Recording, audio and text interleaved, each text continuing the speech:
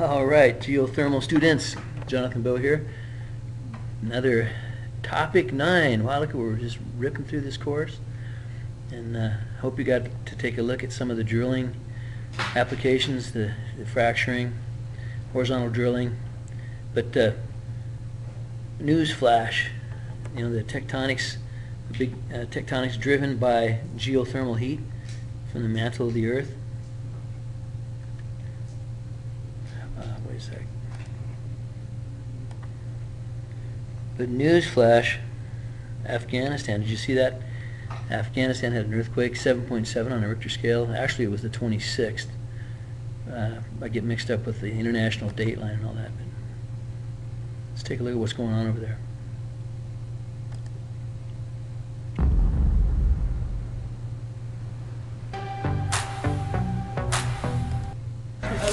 These tremors have been felt across the north, Haryana, Punjab, Himachal Pradesh, Jammu and Kashmir, where we're getting reports of uh, quite serious tremors there in our Delhi studios, which are on the second floor.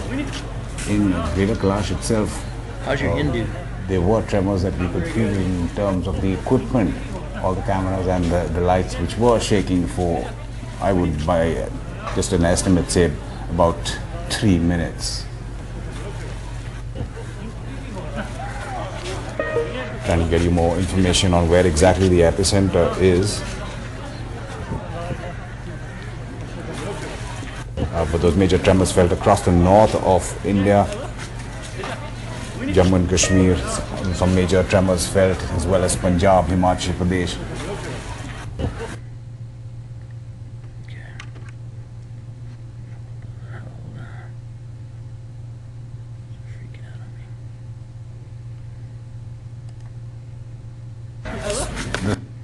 Tremors have been felt across the north, Haryana, Punjab. Here's the, the locals' opinion. powerful 7.5 earthquake that's just hit near the border of Afghanistan and Pakistan. Strong tremors were felt through much of South Asia, including Kabul, New Delhi, and Islamabad. We'll go there now with our correspondent Taha Siddiqui. Taha, you yourself felt those tremors just within the past hour. What more can you tell us?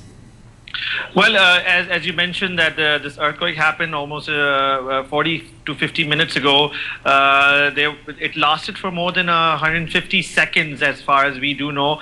And the Pakistan. Meteorological Department has said that on, on its Richter scale, it was measured as at 8.1. Uh, uh, uh, whereas we do know that from the U.S. Uh, Geological Survey that it was 7.7.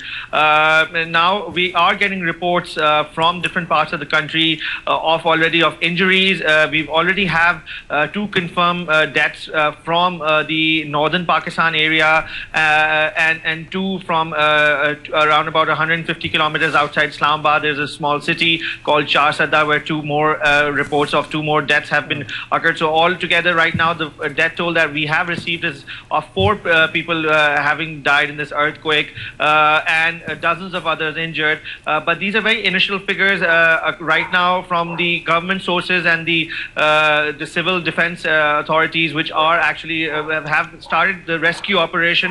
Uh, they're saying that uh, the injuries and the casualties could go up. Uh, there are reports of multiple reports of buildings collapses in the northern parts of area. All throughout, this is the same belt that there was a major earthquake in 2005, uh, 10 years ago in Pakistan, and this is the same belt where this this earthquake has struck. But this time around, they from the reports that we're getting from the meteorological department, they're saying that the depth of the earthquake was uh, uh, more than 190 kilometers uh, uh, below surface, and last time it was uh, le- less than 19 kilometers, and because of which uh, the destruction this time could be expected much lower. Uh, but at the same time, the civil defense authorities have said that we would be expecting more aftershocks in the next 24 hours, and the casualties could go up, as I mentioned before, as they tabulate in the coming hours. All right, Taha, thank you for that. That's Taha Siddiqui reporting there from Islamabad on that earthquake that hit uh, earlier today, an earthquake uh, that's at a magnitude of 7.5.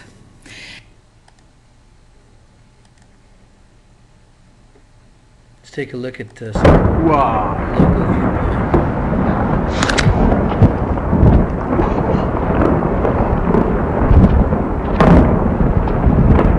Listen to the noise. You know?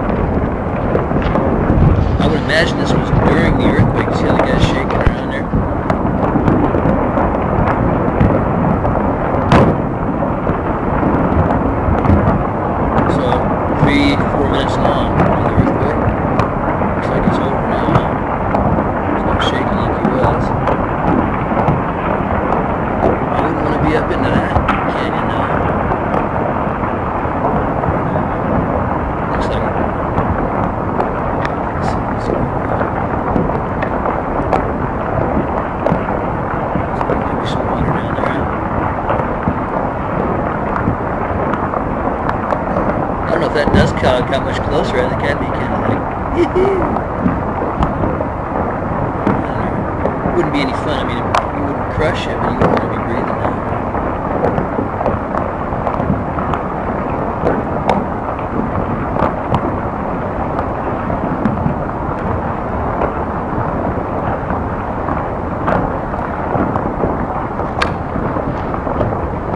His cell phone, checking it out.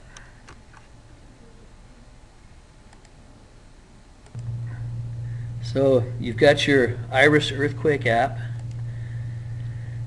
Let's take a look at. Maybe we haven't looked at the IRIS earthquake app yet, but let's do that right now. We've looked at the USGS. This is kind of a cool one here. But uh, you can see this is the United States, and we're looking at what kind of earthquakes we've had recently. Magnitude over here, magnitude 9, 8, 7. So you can see there's been some stuff going on right here. What do we got? Western Idaho, 2.7. That, that was the 25th also, wasn't it? Same day. 1025. Well, yeah, I think, I forget now, are, is, are they, let's see, are they ahead of us over in Afghanistan, or is that, are they behind us? I f- I forget which way the Earth's rotating, but it's, uh, this is the 19th here in Yellowstone region, 2.4 on the Richter scale. So you kind of wonder, and, you know, here's that, the Snake River Rift, right? It comes ripping right in through here. And right there, see what this one is all about. Could, could make that a little bit bigger maybe.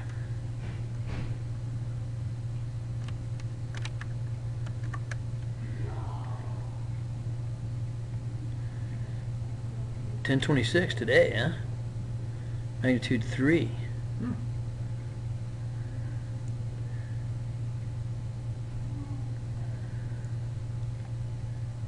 Hmm. Select a new region.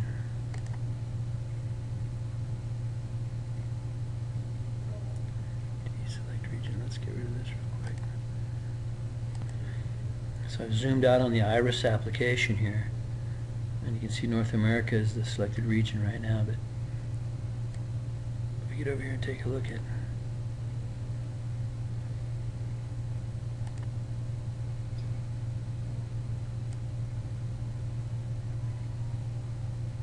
See if that gets it right there.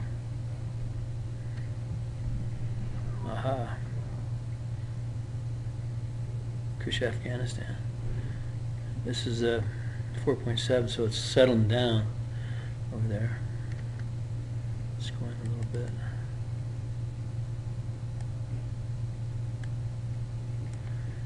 Boy, they're just getting hammered, aren't they?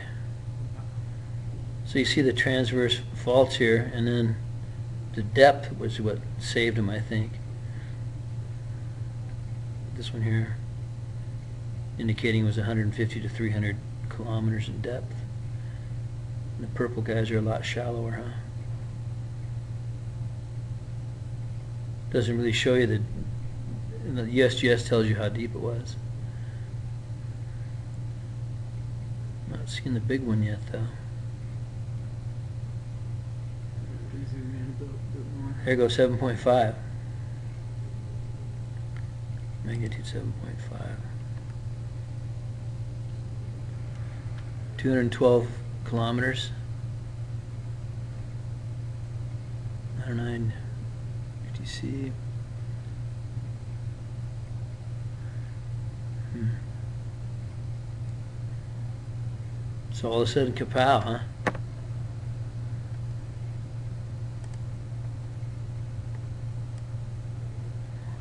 But uh, there's our earthquake, that IRIS earthquake browser, which you know we use it in geothermal.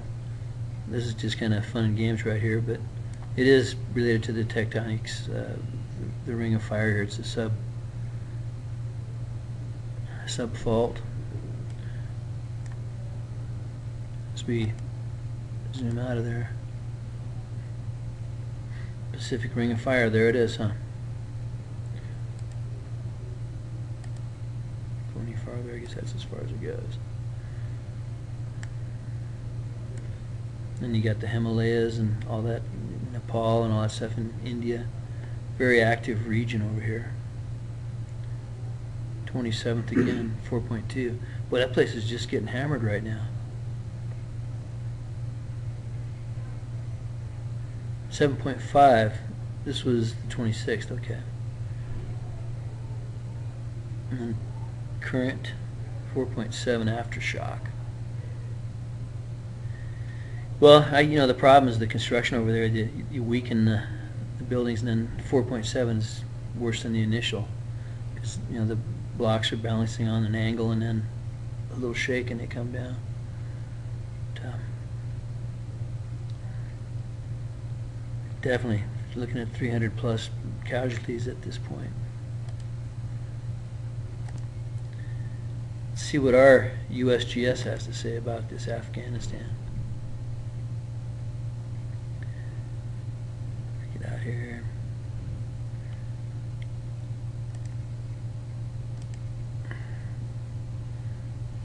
Let's do this. It's a little different. Zoomed out here. This is the USGS application that you have, or that you can acquire. Download the website. Mhm.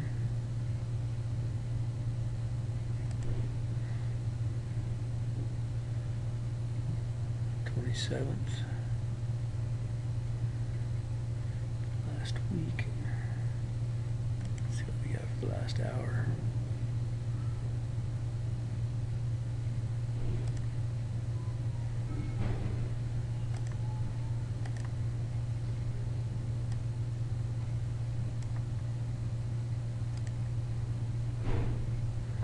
Hmm.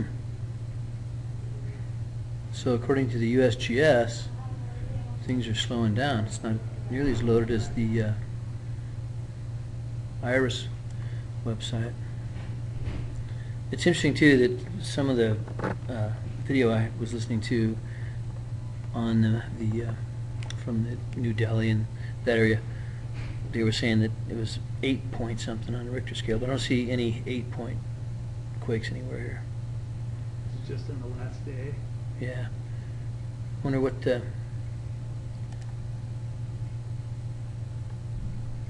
last folder. That's not good. Let's get rid of this real quick.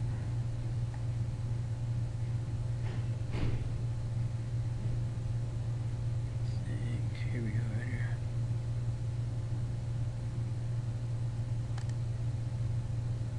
China.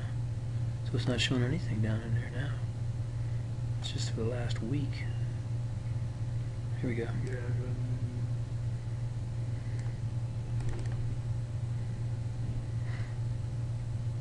Four point seven, so it's calming down, thank goodness. But this, uh, is gonna serve us as far as looking at the United States, huh?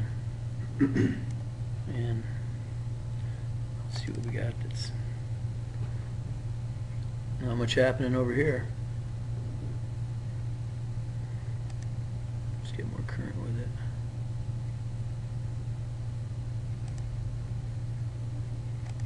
There we go. A little more active. See if they got the ones that we saw.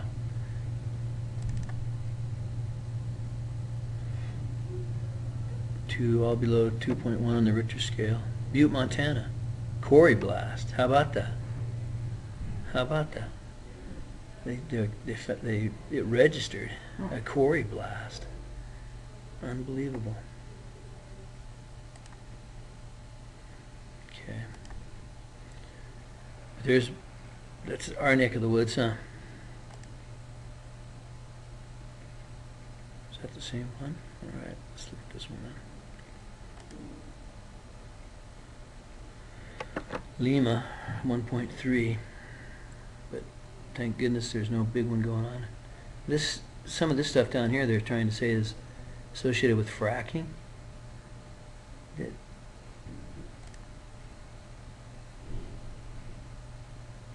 And that was, a- that's current right there, isn't it?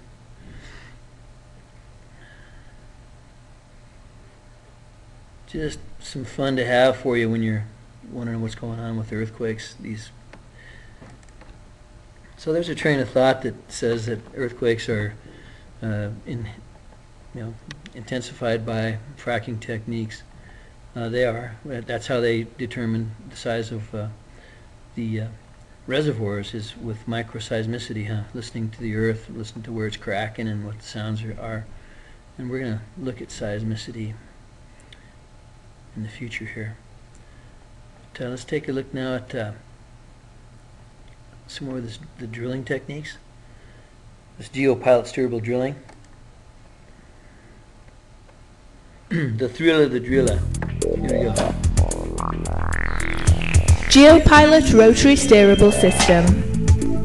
As part of the pilot fleet of automated drilling systems, the GeoPilot is the industry's most proven point-to-the-bit rotary steerable system. Azimuthal gamma and inclination sensors just one meter from the bit provide tight control on wellbore placement and geosteering. The bit is pointed by flexing the internal drive shaft. The advanced GeoSpan downlinking system provides total control while on bottom drilling without interrupting the drilling process. The shaft is flexed using a pair of eccentric rings controlled by a gear and clutch system. This design is capable of over 12,000 possible settings, generating up to 6 degrees per 30 metre doglegs, and makes the GeoPilot virtually immune to formation tendencies. The system is designed to exploit the proven benefits of extended gauge bits, low wellbore friction, improved hole cleaning, low vibration, and longer bit life. This makes the GeoPilot ideal for drilling extended reach wells and ultra-long horizontal sections through the reservoir for maximising production. The GeoPilot is also excellent for open hole sidetracks from existing wells.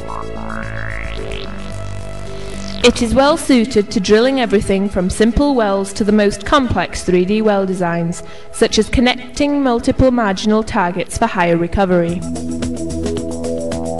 Successful in a wide range of applications from ultra deep water to advanced geosteering to vertical performance drilling, the GeoPilot consistently rises to the challenge and reduces drilling time and cost. For maximum drilling efficiency and precise wellbore placement, look to the GeoPilot rotary steerable system.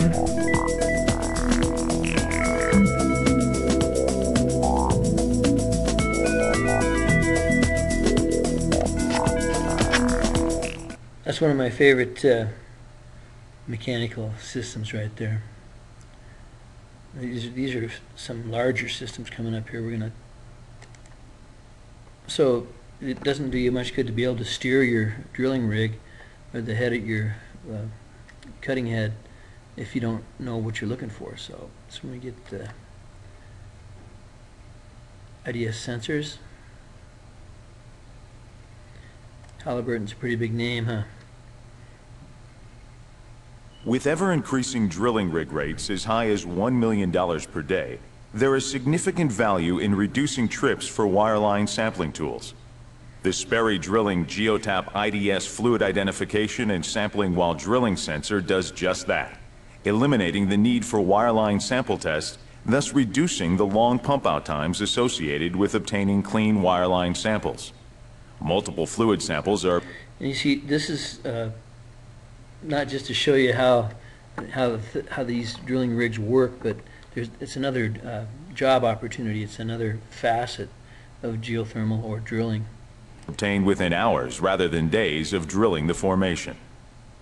As the well is drilled, the GeoTap IDS sensor is positioned in the logging while drilling bottom hole assembly, It may be placed anywhere in the BHA, but typically it is right above the formation evaluation sensor most critical to identifying the potential reservoir that will require further evaluation. As the bit penetrates the target formation, invasion from the drilling fluid occurs along the wellbore. Invasion continues and deepens as long as the hole remains open. These invasive mud filtrates are undesirable for accurate reservoir analysis and must be removed in order to obtain a clean, uncontaminated fluid sample. Typically, a sample should have less than 5% contamination.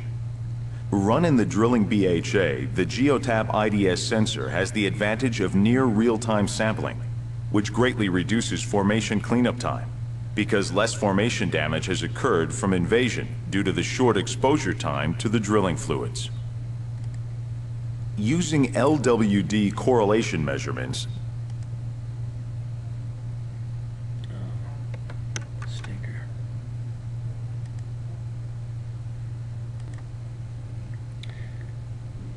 Take a look at a deep water rig here.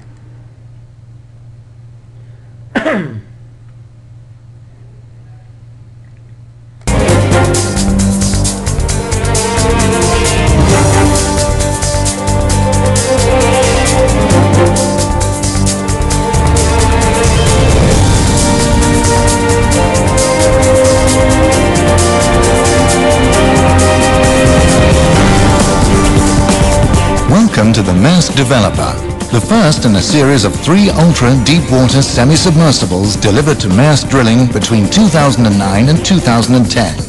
The state-of-the-art design of the rigs was made in collaboration between Maersk Drilling, Keppel FELS and Marine Structure Consultants, based on input from customers and service providers to oil companies. The rigs are designed to operate in moderate mid-ocean conditions, in water depths of up to 10,000 feet, and they are capable of drilling to a depth of 30,000 feet. They have been designed to drill and complete deep water wells and install subsea facilities with optimum efficiency. The rigs are dynamically positioned semi-submersible with eight 4 megawatt thrusters and have a transit speed of 7 knots. They also have 8 anchor winches for use with a pre-laid mooring system. With a displacement of 53,000 metric tons at drilling draft and a variable deck load of 7,000 metric tons, the rigs have large storage capacities for the operator's consumables and also provide dedicated and optimized extensive deck space and layout for the operator's equipment.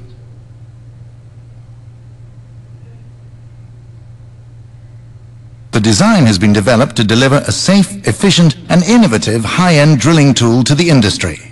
Maersk Drilling believes that the way to increase efficiency and safety is to increase the mechanization of the drilling process. Essential to this process is the selection and hiring of the correct personnel to operate the equipment. The senior crews for these rigs are involved 18 months in advance of the rig going to work in order to go through a vigorous training and familiarization process.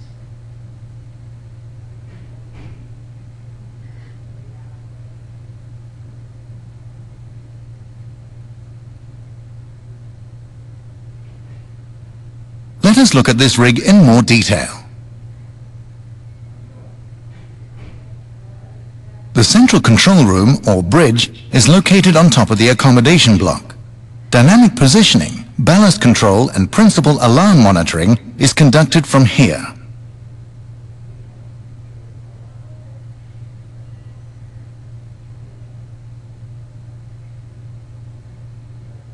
Ample office space and conference facilities on the upper deck is available for the rig crew, the client's representatives, and third-party service companies. Accommodation is provided for 180 personnel, consisting of 10 single and 85 two-berth cabins. The five decks provide all the facilities you would expect of a floating hotel, including 270 square meters of recreational space.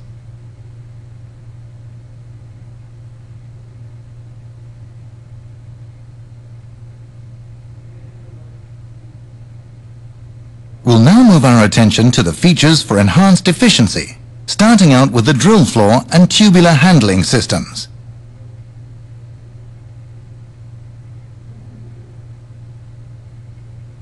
Within the derrick, there are two hoisting systems, the main and the auxiliary.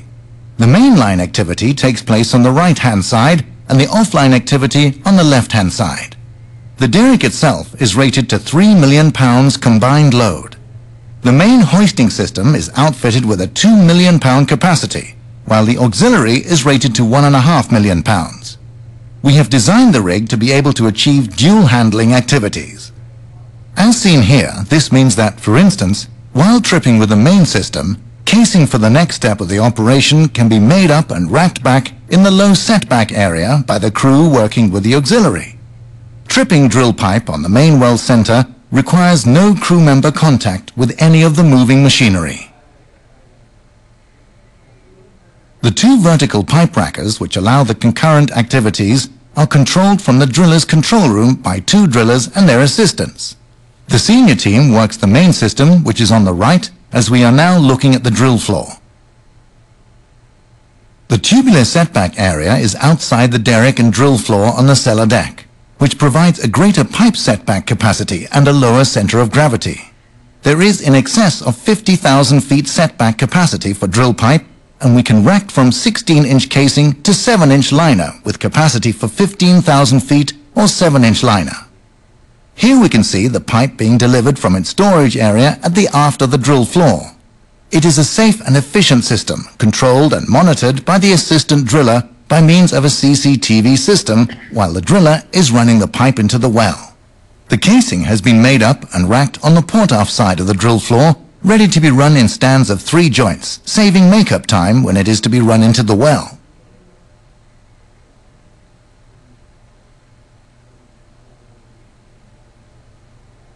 The two drill crews are going to be constantly active, as are the maintenance crews, who will be following Maersk Drilling's preventative maintenance systems, thus ensuring the equipment is always ready to deliver high performance.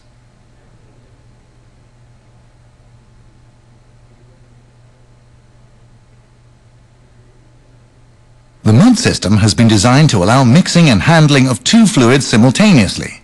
This will reduce the time taken to change from water-based mud to oil-based mud, for example. The solids control system consists of eight shale shakers, split into two banks of four. We are able to install cuttings dryers and centrifuges for zero discharge operations when required, and as mentioned before, there is ample deck space and storage capacity for any combination of cuttings, handling and disposal. We have a fluid surface capacity of 1500 cubic meters, amongst the largest of any semi-submersible. Four 2200 horsepower mud pumps rated to 7500 psi are provided for optimum hydraulics and to minimize downtime. There are storage tanks in the pontoon for weighted liquid mud, brine, base oil and fuel oil. Large capacity for bulk material is also provided in the columns for a total of 1,360 cubic meters. The 18 and 3 quarter inch 15,000 psi BOP has two annulars and six ram preventers. The lower ram can be configured as a test ram. BOP, the breakout or uh, blowout prevention device. The one that didn't work in the Gulf, you know, uh, in that oil rig. The unit has a multiplex control system with redundancy to allow both pods to operate with one fiber optic cable.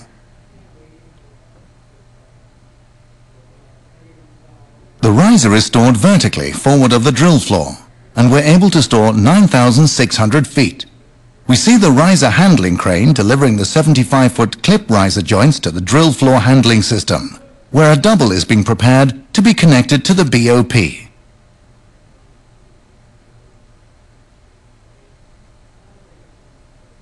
Here we can see the riser running tool being remotely made up to the riser joint.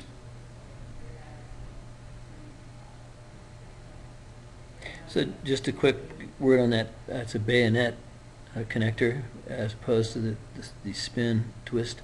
We saw the threaded connectors, we saw, you know, some of the older equipment, so they, in that smaller GRD system, um, that was also bayonet. The riser guidance arm centralizes the riser joint over the riser spider.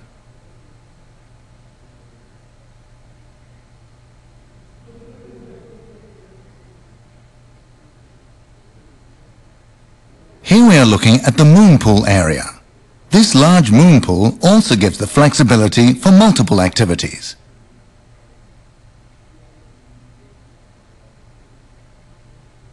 The BOP carrier moves to well center.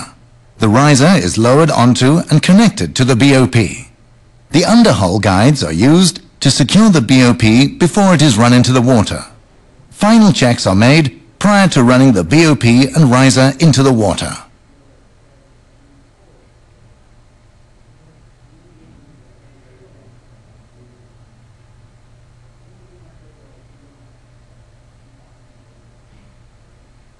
The riser is made up with clip connectors.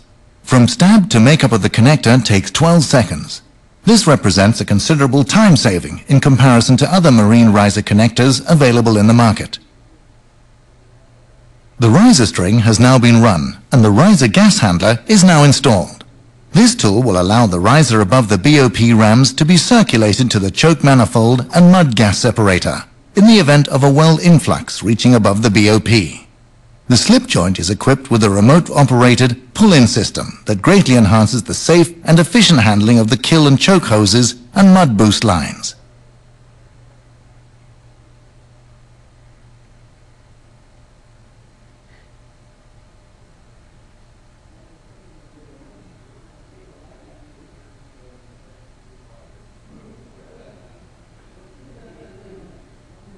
Work baskets installed in the moon pool area and capable of traversing the length of the moon pool assist with the safe operations over water, significantly reducing the requirement for man-riding winch operations.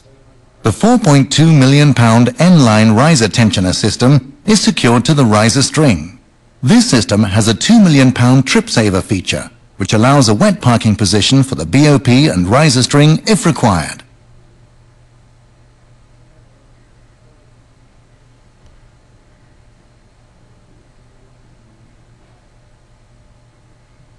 The portside crane is a heave-compensated crane with a capacity of 165 metric tons when used for cargo handling. The crane is rated to 100 metric tons in a 10,000 feet water depth.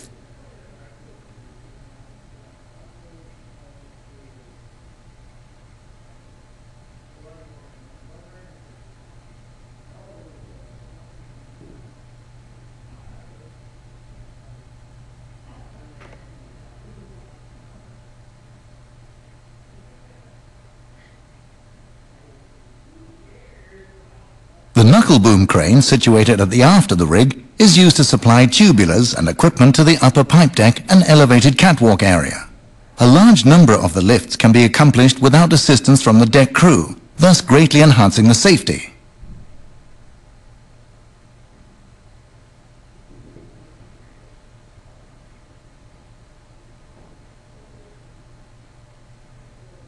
The starboard crane is a conventional deck crane, which is also able to work on the BOP when the BOP is stored on deck. It has a 165-foot boom length, a 60-ton rating at minimum radius on the main block, and 15-ton rating on the whip line.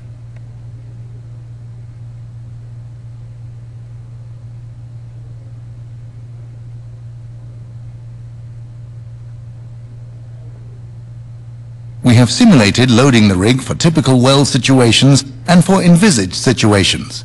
As illustrated, we can see the rig loading up with some completion equipment.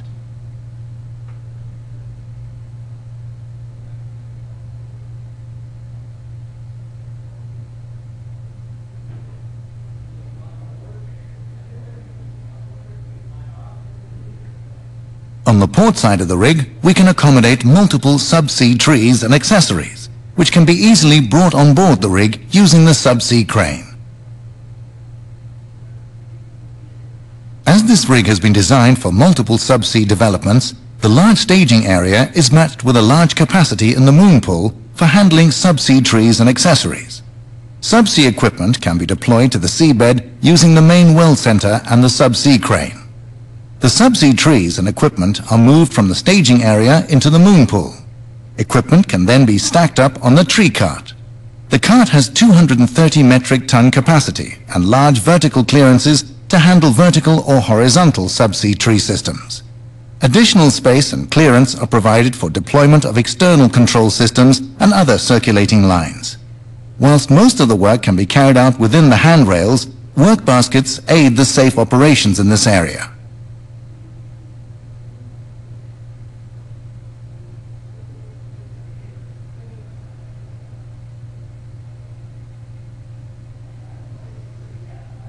Really cuts back on the manpower required also.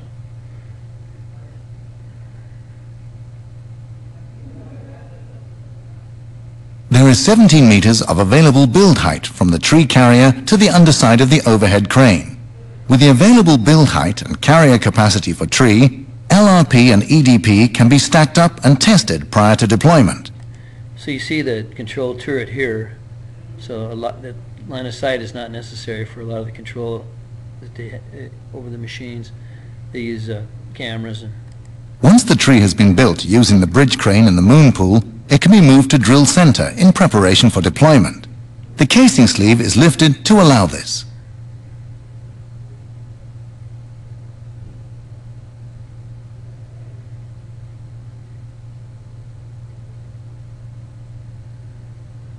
A number of external electrical, hydraulic and or control lines may be attached to the production tubing and tubing hanger running tool, or the subsurface test tree.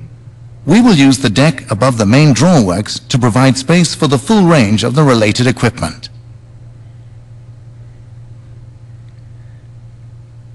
some of the numbers that you want to think about here, that, you know, they're talking about 10,000 water, 10,000 foot water depth, and then the ability to drill another 30,000 feet, so 40,000 feet of cable there.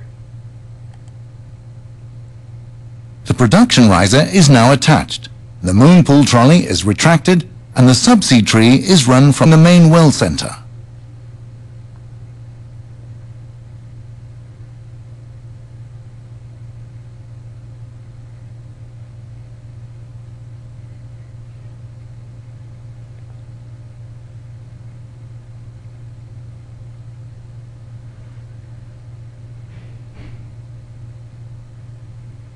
Subsea completions involve a substantial amount of additional equipment and services, including completion fluids.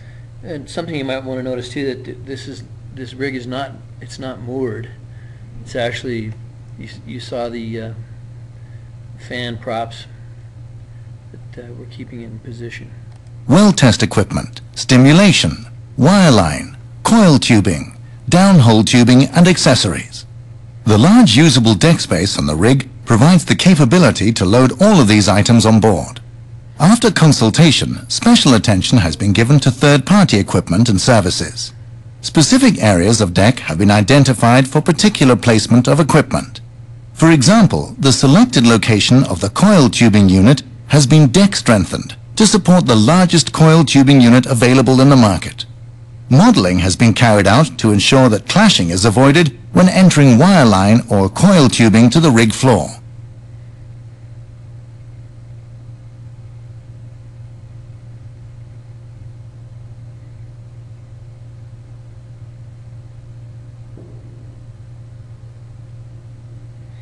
I mean cable when they say wire. The heave compensating crane allows an additional capability for deploying subsea equipment to the seabed.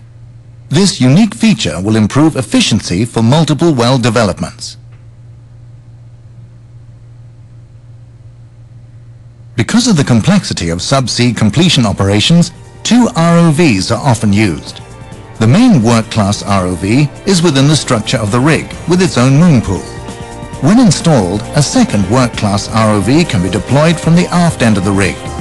Guided launching systems are provided for each ROV to allow deployment and recovery in high currents and heavy sea states.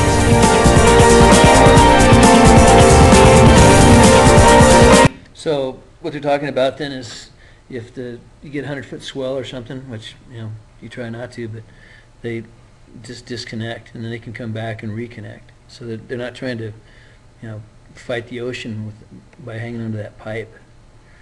They, they they let they'll let go if they have to, and that that rig I don't know I guess there have been some big enough seas that they actually had to evacuate one of those rigs not too long ago.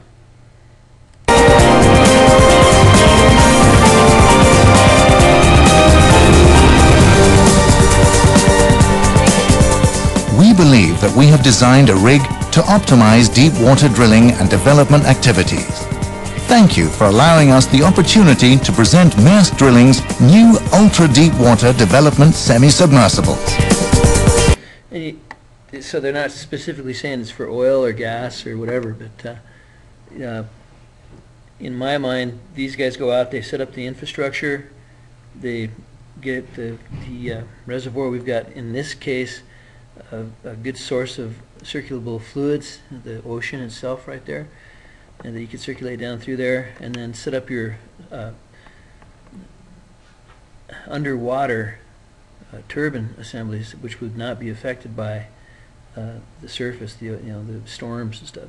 So the, the future for geothermal underwaters is bright. That, that would be, these guys do all the work, they get the oil out, and then we come in there and harvest the heat that's left behind that's basically undepletable. So that, that probably is what we'll see pretty quick here.